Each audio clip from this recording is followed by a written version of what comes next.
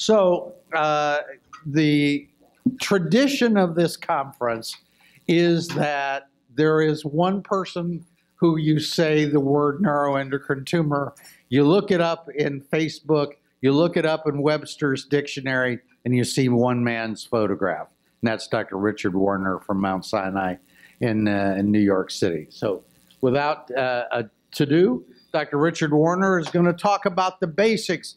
And we're going to start at the beginning, and each of the speakers will probably, like myself, give you a little bit of, of a refresher course as we go through.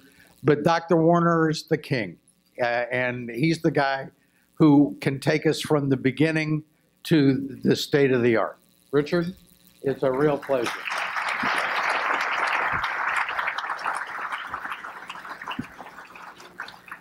Thank you, Eugene. Good morning, everybody. It is a pleasure to see so many familiar faces and also so many new ones. Uh, we have an awful lot to say, and you're going to hear a lot as this uh, session, as this meeting goes on. And uh, it's really going to give you a full panorama of the landscape of carcinoid and neuroendocrine tumors you are the audience a very heterogeneous mixed group. Some of you are ingenues, real newbies, beginners in terms of your journey along with your neuroendocrine tumor disease, but you're not schooled in medical or scientific uh, areas.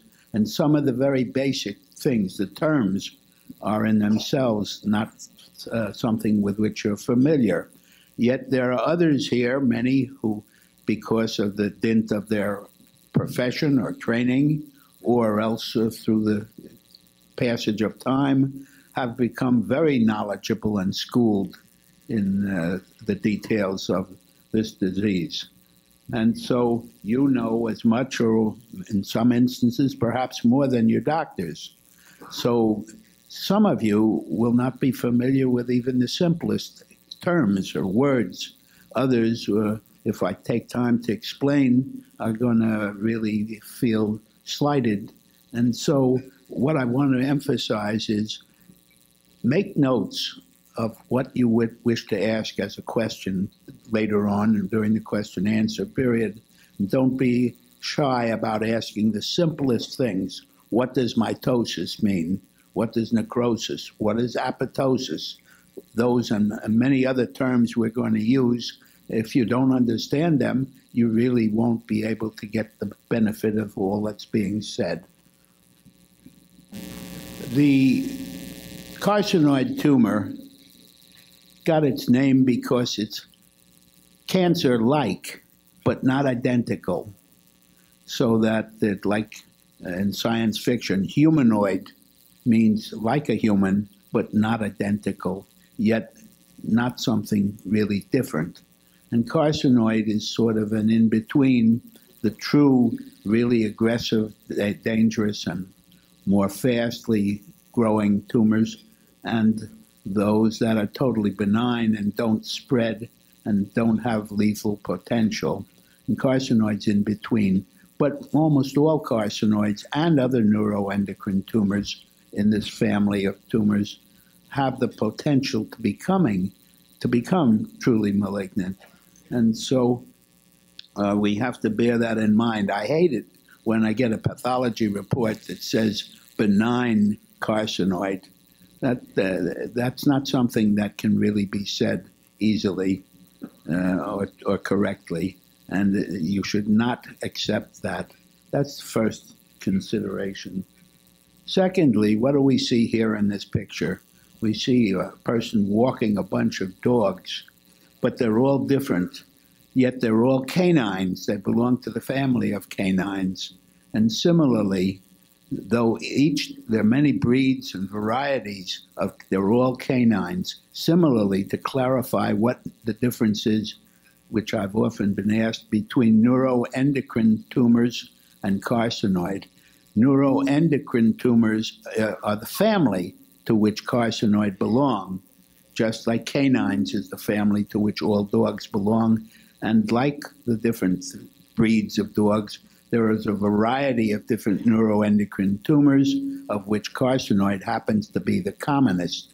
We'll mention a word or two about some of the others, which are rarer, but nonetheless are very important, especially if that's something you have. And here you see a listing of the uh, frequency with which these different tumors occur. Uh, I won't dwell on it extensively, but just to point out that about 75% of all neuroendocrine tumors are carcinoids. And as you will see, carcinoids can arise in a wide variety of areas in the body, although they're most common in the intestinal tract, especially the small bowel, but they're becoming increasingly frequently diagnosed in the rectum. And also, the uh, smaller percentage, actually 28% of all carcinoids arise in the lung. And uh, then the leftover 25%, or one quarter of all neuroendocrine tumors, most of which, but not all, arise in the pancreas, so in the so called islet cells. And uh, these uh, constitute a wide variety. Some have no function, they don't make any hormones or chemicals, and, uh, but still can grow and spread. And the others have specific function depending on the type of cells from which they arise. And they, they're named after what, they, what substances they make. Like gastrinoma makes gastrin and it causes certain symptoms of its own. Insulinoma makes insulin and causes symptoms of too much insulin, and so on. The, these tumors are increasingly rare, but nevertheless very important. And here we just have a listing of these different types of tumors and uh, what symptoms they might, might cause. And this again lists the distribution or the sites of, in which these uh, uh, of these different tumors.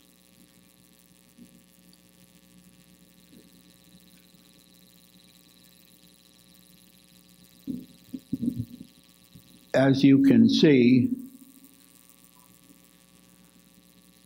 there are a number of observations about these tumors and uh, and statistics that have been collected. I, I can't see very well from here again. I'm thinking uh, that the, the slide should be self-explanatory. Maybe we can get a little help.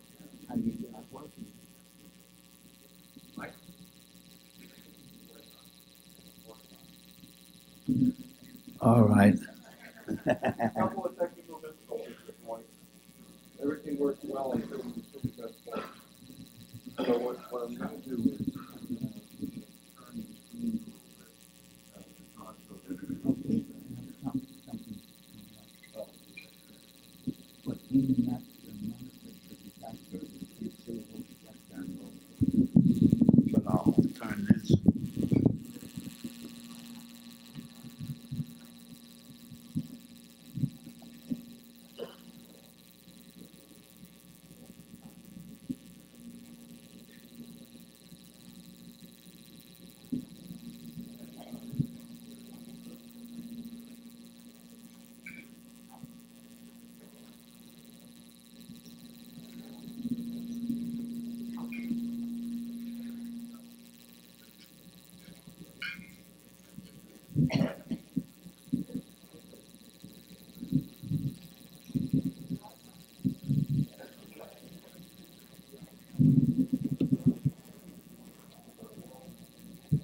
There we go.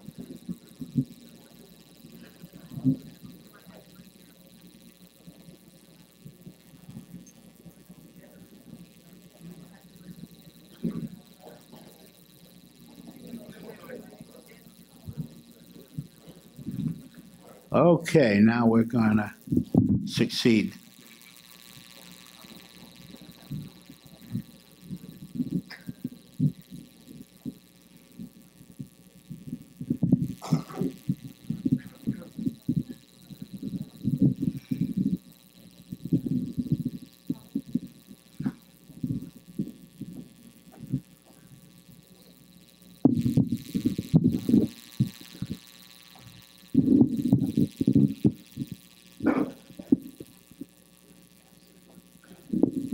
All right, we're back to the slide showing the different uh, types of gastroenteropancreatic nets, GEP nets. Uh, and you see carcinoid at the top, which makes serotonin and some other substances called tachykinins, bradykinins, and these produce the carcinoid syndrome. But that syndrome does not occur in all patients with carcinoid, in maybe at the most uh, about 30 or 40 percent, but more often not that many, and particularly, however, with those that arise in the small intestine. And we'll devote a little more attention to that later. And uh, you see the listing of the some of the major uh, uh, pancreatic, uh, other neuroendocrine nets, and the substances that they produce and the symptoms produced. We won't take up time dwelling on that. If you have one of these, you can see what uh, it, substances it makes and the symptoms uh, that would occur as a consequence.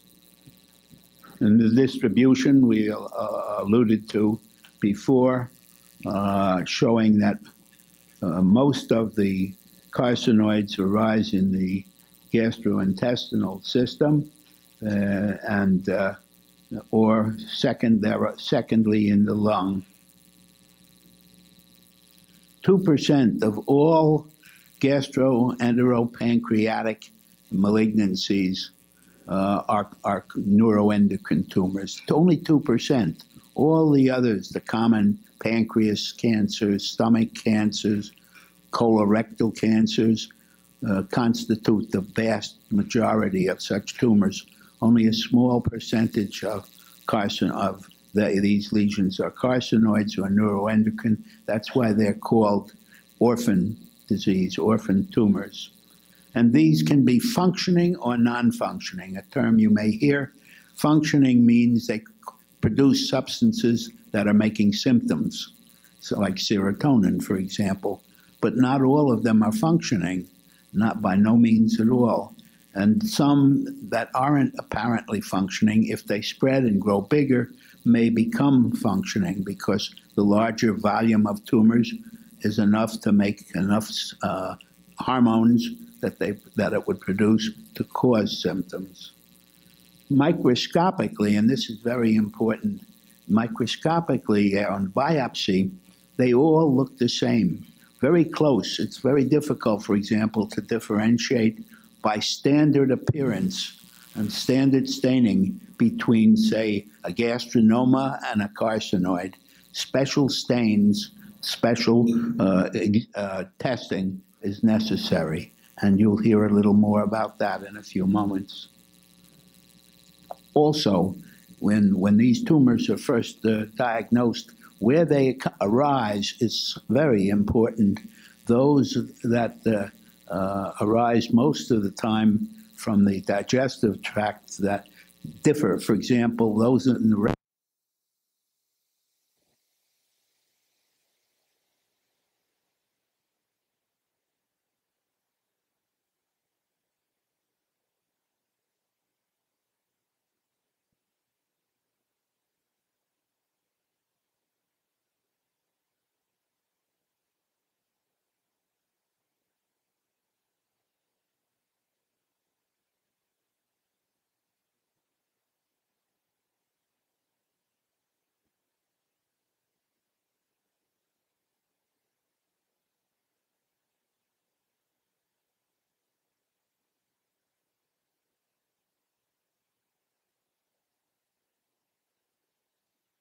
extended. And this is very important and one of the areas that, that is receiving great attention to make an earlier diagnosis. Those in the lung are about half and half. Uh, they will have some, at least regional lymph nodes involved at the time they're first diagnosed. Now, you'll hear more from the pathology lecture that will follow, but um, there are criteria that must be met for what we consider a minimally adequate pathology report on a biopsy. It has to cite where the tissue came from. It has to uh, indicate whether the sample is a metastasis or the primary tumor. It has to be graded. That means its deg- degree of aggressiveness has to be stated.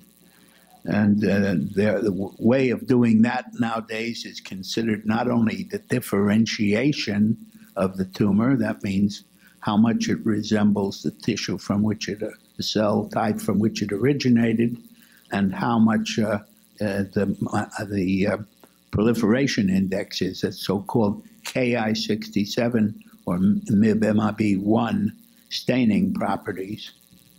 And then also, we want to measure stain for chromogranin, synaptophysin, and some statement has to be stated as to the extent of the tumor so it can be staged. You'll hear more about this as the uh, uh, conference goes on. Now, looking at the degrees of cell growth, there will be a mitosis count, and you see circled the, the, the mitosis, meaning the cells which are in the process of dividing and replicating, multiplying, uh, or in other words, the more of these that are undergoing mitosis, the faster the tumor is growing. So the mitosis rate is very important. Ki67 is a st- substance in the nucleus of the cell which undergoes a change as the cell is preparing or undergoing replication, and this will stain specifically. And so, the, uh, doing that type of stain and looking at it under the microscope will help tell what the rate of growth or aggressiveness or so-called proliferation index of the cell is. No, no pathology report is adequate without that type of stain. It's not good enough just to get a path report that says carcinoid or, or even just neuroendocrine tumor.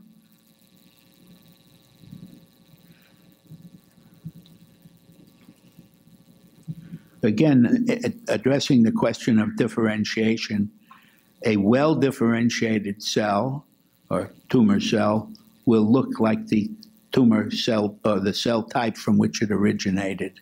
And here we see a brick wall, and it, it, you might say it's well differentiated. Every brick looks like every other brick, they're all the same. And here's a moderately differentiated brick wall in which the cells are essentially the same size, the bricks, but uh, they differ a bit in their coloration. So they're sort of not quite all identical, but they're very similar.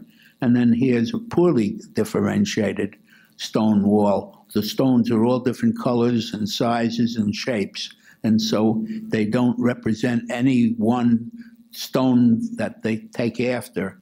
And similarly, a poorly differentiated tumor is going to have different cells, different sizes, different shapes, and that speaks for a more aggressive growth.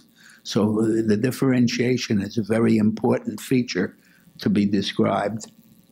And here is a, a segment of intestine that's been removed and sliced open long ways, and you can see the folds of the lining, the mu- mucus lining of the of the intestine, and several little lumps, polyps, nodules, if you wish.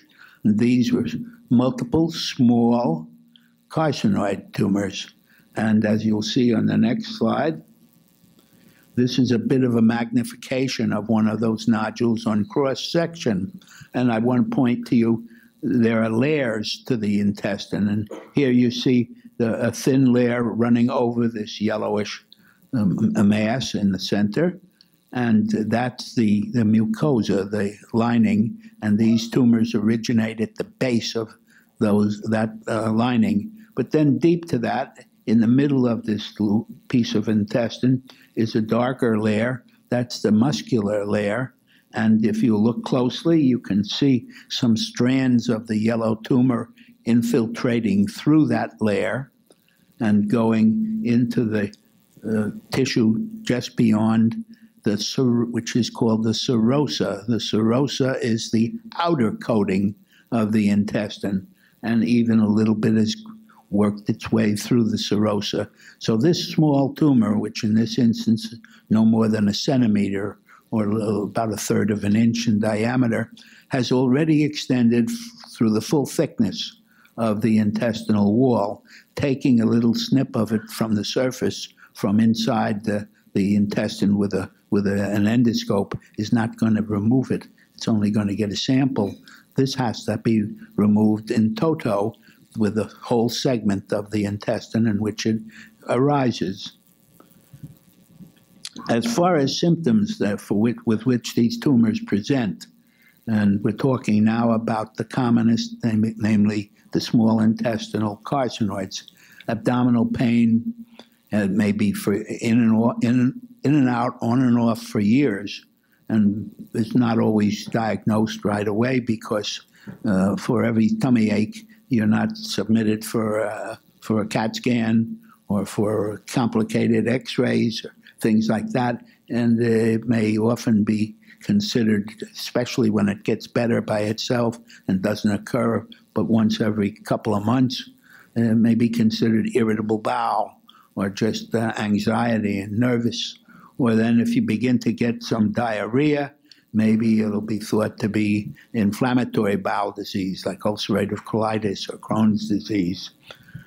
Other symptoms uh, may be severe pain from time to time, which are transient episodes of obstruction. Again, that's often put, passed off and just watched, and then finally gets worse enough, and then an operation ensues or x rays and shows that there's obstruction due to the tumor. Less commonly, but common enough that it occurs uh, uh, in a recognized frequency, is bleeding the surface of the tumor may become raw, ulcerated, and bleed. So it can be one of the many causes of bleeding in the intestine and has to be considered.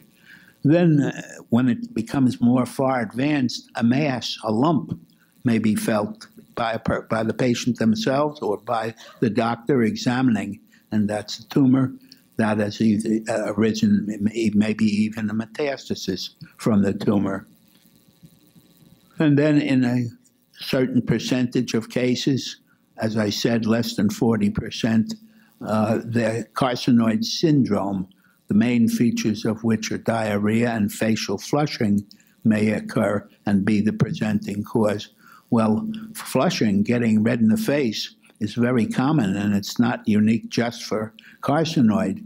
It comes from things uh, as simple as menopause or embarrassment or some people have it as a, as a, as a constitutional feature. They always get red in the face when they exercise. Uh, and then there's also rosacea, which is a dermatologic condition, the origin of which is not really clear, and it's often a wastebasket into which flushing is is uh, cast, and uh, really is due to many other things. So there are many diseases that can cause flushing. The outstanding feature of the carcinoid flush is that it's dry. That you don't sweat, it's not wet, uh, there's not dampness, and so on. So uh, any flush that's with a great deal of sweating is not carcinoid flush. Finally, the, the disease may be found purely coincidentally. Person gets a gallbladder operation for gallstones or what was thought to be gallstones, and lo and behold, it wasn't. There's carcinoid there, or carcinoid coincidentally. The same thing holds for carcinoids of the lung. They're often coincidental findings.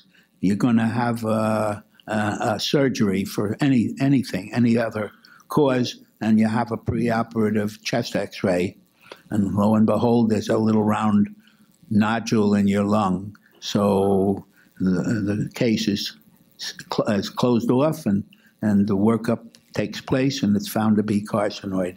That's not an unusual finding. Uh, we may also have recurrent episodes of infection, pneumonia, or chronic bronchitis, but it always occurs in the same part of the lung, and that's due to the tumor that's obstructing the bronchus, and the secretions collect behind it. We may have coughing producing some blood, and that can be from carcinoid in the lung, or maybe a dry chronic cough also may be carcinoid, Or maybe it first presents with distant metastases, a lump in the liver, or, or a mass is found on a coincidental CAT scan or sonogram that is done for various other purposes. And then finally, we may have uh, a syndrome such as the carcinoid syndrome or other types of syndromes that are produced by hormones that the tumor may make. Uh, the lung carcinoids have the potential for making more different substances than do those from the digestive tract. And one of the uh, most interesting or unusual syndromes is the Cushing syndrome, which is due to a excessive production of a hormone called ACTH that stimulates the adrenals to make excess of cortisone, and that causes diarrhea or, or um, weight loss, obesity, hypertension, and a red flush of its own. Now, here are listed the features of carcinoid syndrome they're divided arbitrarily into major and minor features, and they need not all be present.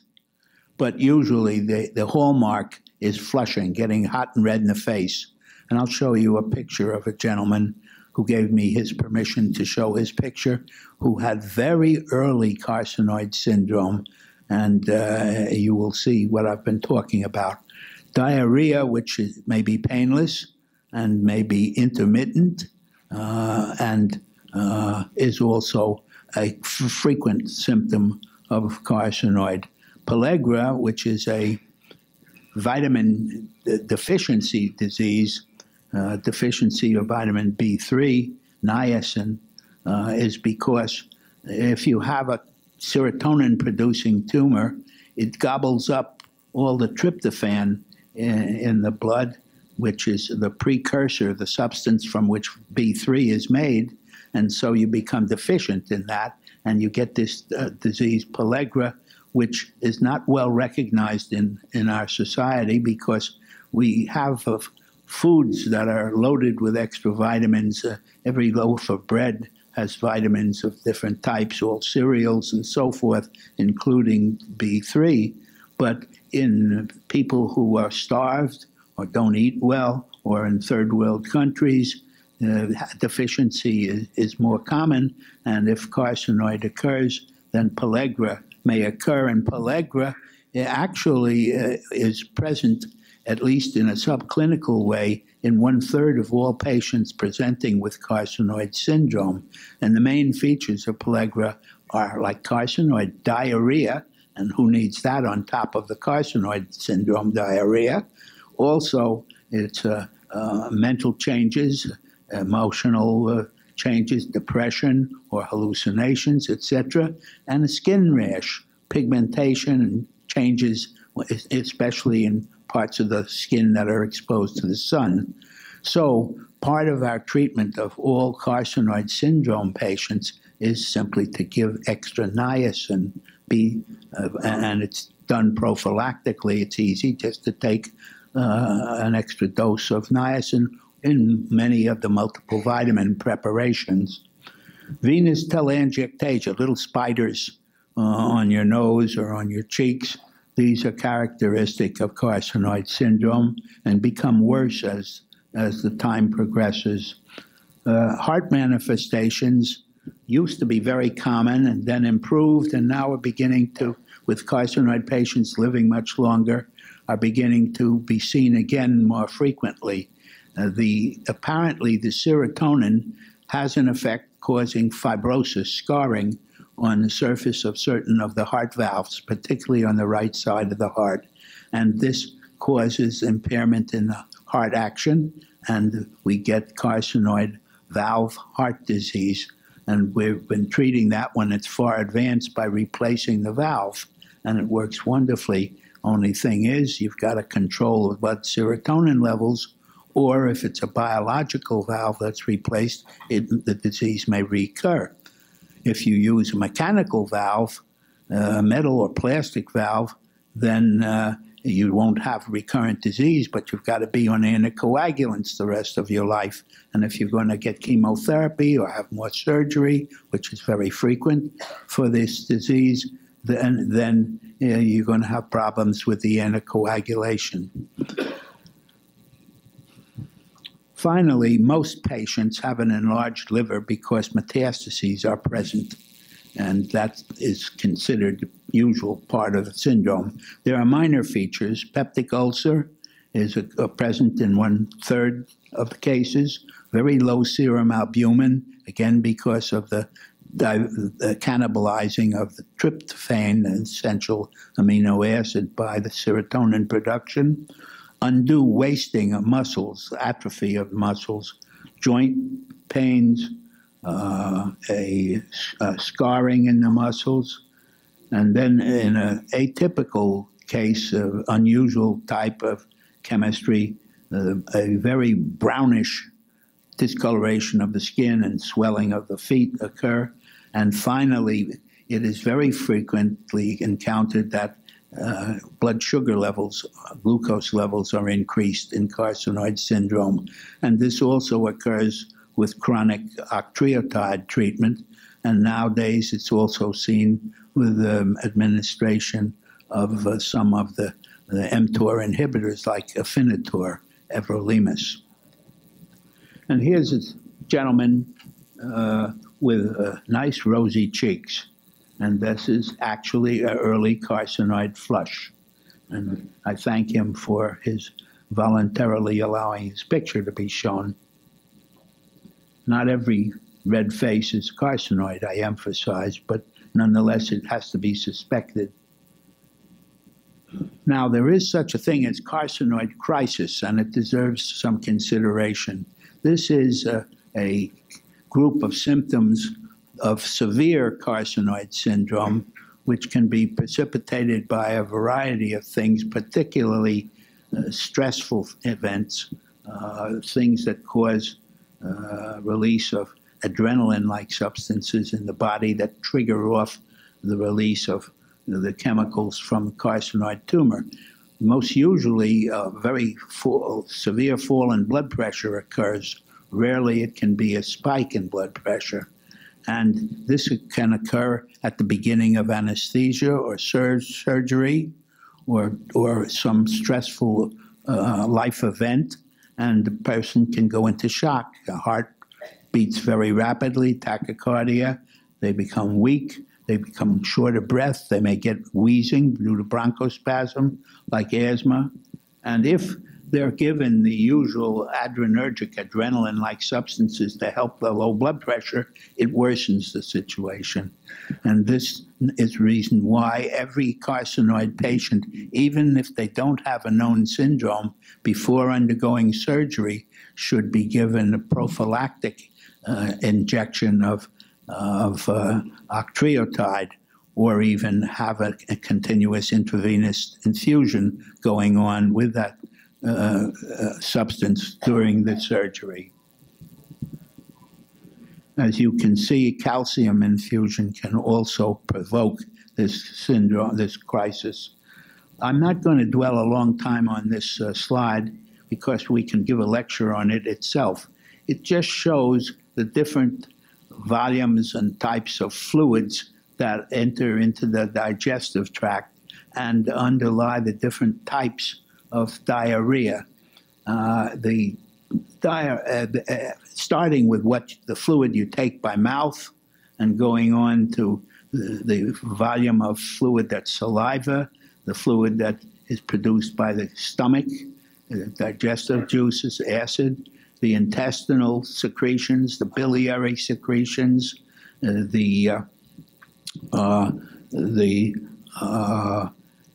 absorption uh, from the colon of, uh, of the fluid. Actually, uh, at least eight liters of fluid are, are, are uh, presented in, in the digestive tract, and yet in the course of a day, and yet only 200 milliliters uh, end up in the normal stool output, and that's because of reabsorption. Many things can promote diarrhea, loose and frequent stools, such as simply a surgery in which the intestine is shortened, so there's not an opportunity to reabsorb. There may be toxic materials, uh, uh, say like cholera. Uh, that infection uh, provides a toxin that paralyzes the absorption and im- of uh, secretions. So voluminous f- fluid volumes are excreted and so on. Serotonin and some of the other products of carcinoid will uh, impair uh, the absorption or the secretion and this uh, balance between fluid production and reabsorption, and hence can account for the diarrhea. And uh, similarly, uh, in one of the well-known uh, um, uh, neuroendocrine tumor syndromes called VIPoma, VIP, sub- it's a substance that's produced by certain cells in the pancreas, and when the, they overgrow in, in forming a vipoma, then we get an excess of VIP, which overstimulates the intestine, and we get a voluminous diarrhea. Uh, So uh, there are many causes and many mechanisms. It's and the and some of these diarrheas have nothing to do with eating. That you have it whether you eat or don't eat. And this is important. Certain types of diarrhea occur even at night when you're sleeping. And that's important for us to know because that helps to tip off that it's what we call secretory diarrhea. It's due to an impairment in the secretion and reabsorption of these fluids. Now, how is carcinoid diagnosed? Well, the first thing that's important is it's got to be suspected. If you don't think of it, you don't make the diagnosis. So the motto, if you don't suspect it, you can't detect it. And uh, that's also why the zebra is the icon for, for carcinoid and neuroendocrine tumors. When you hear hoofbeats, you think of horses. So when a doctor sees somebody with a common symptom like abdominal pain or diarrhea, he thinks of the common causes. But you got to think outside the box. And instead of a herd of horses, it might there might be a zebra in there. So that's why the icon. And At any rate, once it's suspected, then you can do things to diagnose. You can test for the blood markers or the urine markers, the chemistries, the substances that are produced by these tumors, and they should be increased. And we'll give you a list of those in a moment. Then we can do imaging, X-rays, CAT scans, MRIs, etc., or even endoscopies to look and see directly and those that will help. And then finally, to clinch the diagnosis, a biopsy. It's not really proven until you have a tissue diagnosis. And so those are the, the four uh, columns that support the diagnosis. Here for markers, the classic one is urine 5-HIAA, standing for 5-hydroxyindoleacetic acid, which is the traditional way uh, of measuring, and that requires uh, uh, 24 hours of urine and on a diet that doesn't contain foods that have lots of serotonin in them. And even then, the value will not be increased in about one quarter to one third of the cases. And so you will, if you rely on that alone, you'll miss some cases. Secondly, blood serotonin is very good too. It's even in cases that don't have carcinoid syndrome, it is often slightly elevated. So careful measurements will help. Then we measure chromogranin A, which is another co-produced substance, but it doesn't cause symptoms. However, it's very often elevated. And we like to do all of these substances, uh, not just one, because sometimes only one of them is elevated. Now, there are other markers or chemical products. Well, first, we'll come back to that in a moment. Uh, regarding chromogranin A, which is very popular to be test for testing, there are many things that can throw off the value and has to be considered. First of all, it has to be done fasting, as, as do these other markers. If there's kidney impairment, if there's liver impairment, that will cause an elevated value. If you're on a PPI, proton pump inhibitor, one of the uh, uh, drugs that are used so commonly to reduce gastric acid, like uh, Pro- Protonex and uh, Protonix, Prevacid, uh, the, the, the uh, Nexium, just to name a few. Uh, if person's on those drugs, that'll be an elevated chromogranin A, and you can't just stop it overnight. It's got to be stopped a long time ahead. Uh, sometimes, if they if you've been on them for a long time, I find you have to stop it for at least a month. And if it's necessary for stomach symptoms, that's not always easy to do.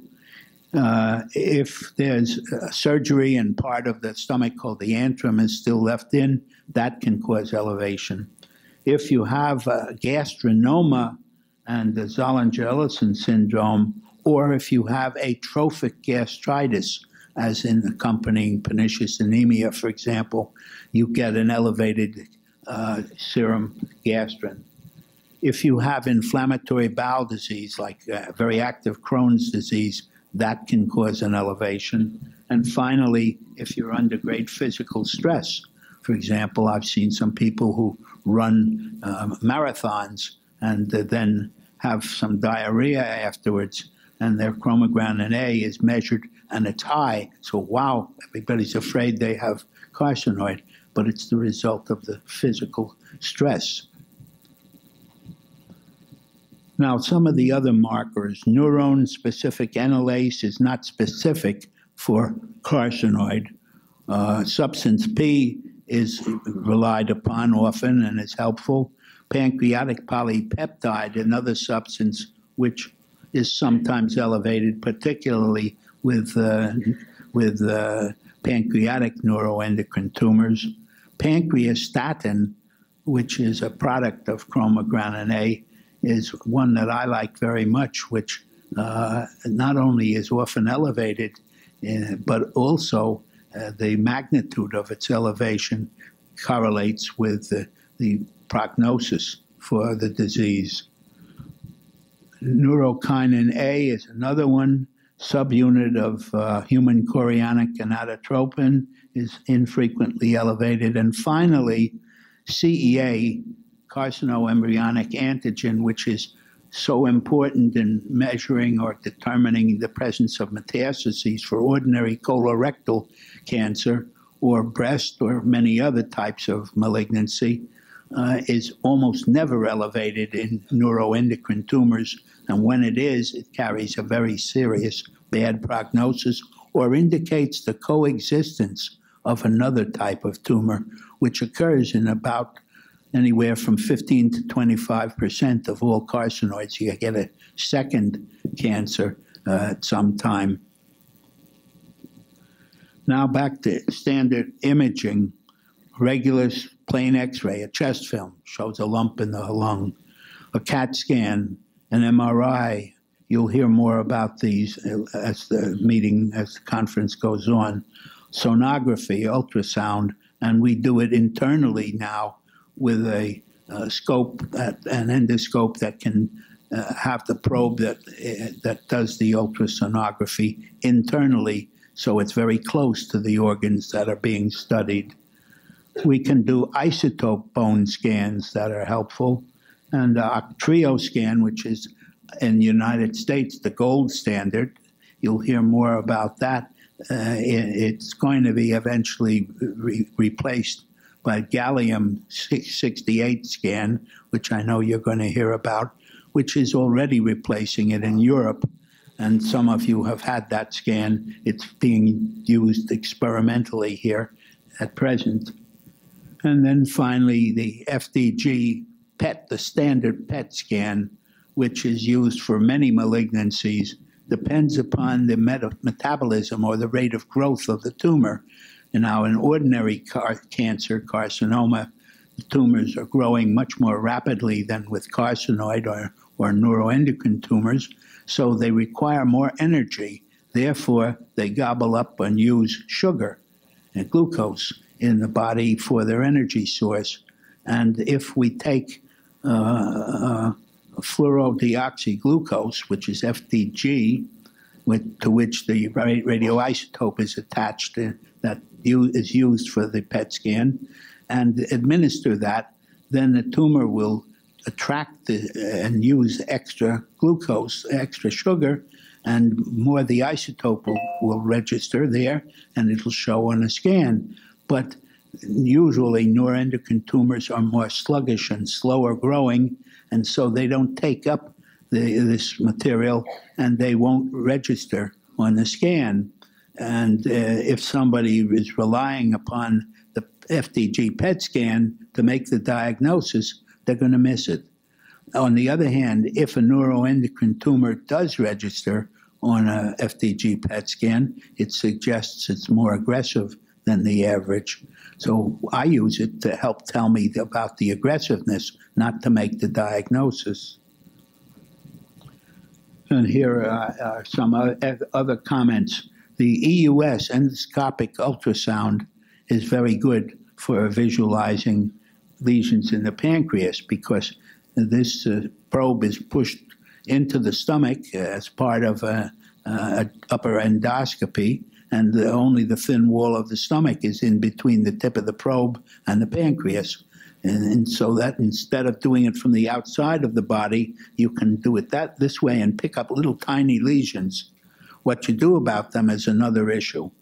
that we have the wireless capsule or pill camera where you swallow this little this pill and it can take pictures internally and and register them on a monitor outside the body and so small lesions can often be seen that way better than any other way and then we have now the double balloon uh, endoscopy technique which also sees lesions inside the, the gut but can biopsy them unlike the pill camera and here, very quickly, are some samples.